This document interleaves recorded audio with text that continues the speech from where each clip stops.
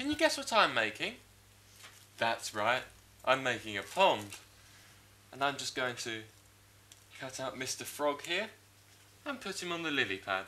So he's with the other frog. Oh, and look, here comes Mr. Fish coming to play with the frogs. And they're all friends now.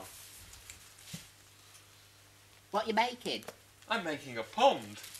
What's a pond? Let's have a look, shall we?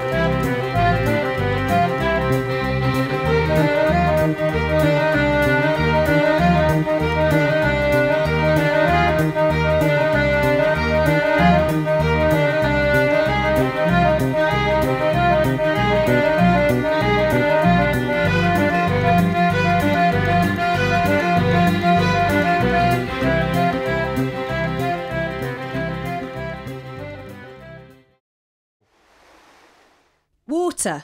Without it, there would be no life, no flowers, and no people to smell their perfume and enjoy their beautiful colours. Here we go, here we go, where the wind will blow, where the wind will blow.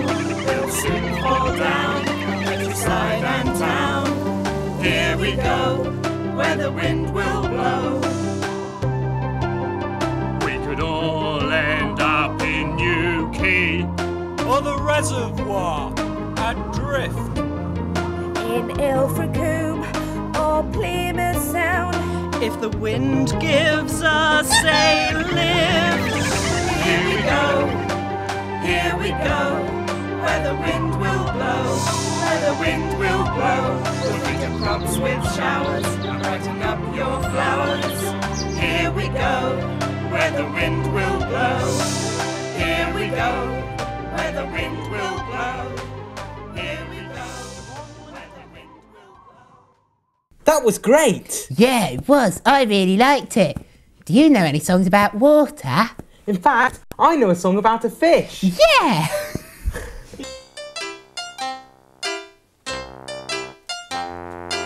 Worthy was a fish, he was a flying fish, he couldn't fly around, he liked to fly around, but whales were too heavy, so they got jealous. They ate too much jelly, they ate too much jelly, so they were far too fat.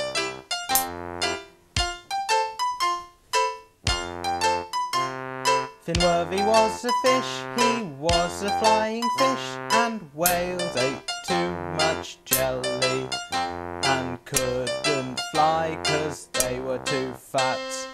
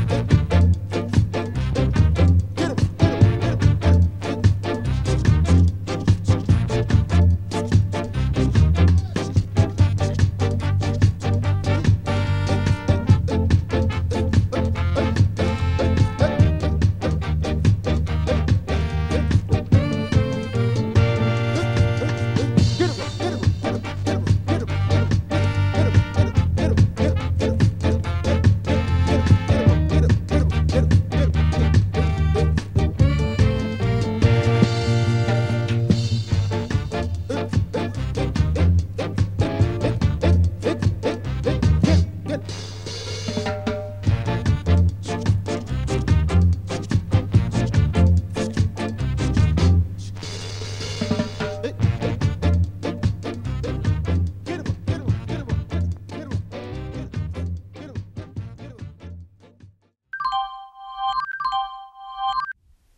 Oh, that's right. That was the story time chime. Are you ready for a story today? Are you ready, Henry? I'm very ready. Well, seeing as we've been learning about water today, this one's called the rainbow fish. Shall we begin? Yeah. Okay. The rainbow fish was the most beautiful fish in the sea, but he never played with the other fish. I'm too beautiful, he thought. And he's very beautiful, isn't he? He's a very beautiful fish. Yeah. Once, a little blue fish asked for one of his shining scales, but the rainbow fish just laughed. Never, he said. After that, the other fish swam away from him. The rainbow fish was all alone. Ah. He went to the starfish for help. Why doesn't anybody like me, he said. Go and ask the octopus, said the starfish. She's very wise. The octopus said, Give away your shining scales. You won't be as beautiful, but you will have friends. I can't do that, cried the rainbow fish. Would you give away your scales, Henry? If I had scales, yeah. Yeah, that's right, you're not a fish, are you? No. Suddenly, the little blue fish was back. Please, he said, could I just have one scale? Well, the rainbow fish thought, maybe just one tiny little scale. The little blue fish was so pleased it made the rainbow fish feel very happy. Soon, all the fish came, and the rainbow fish gave away his scales one by one. Finally, he had one shining scale left, but now as he swam off to play with his friends, he was the happiest fish in the sea. Oh, look, shh. Henry's asleep.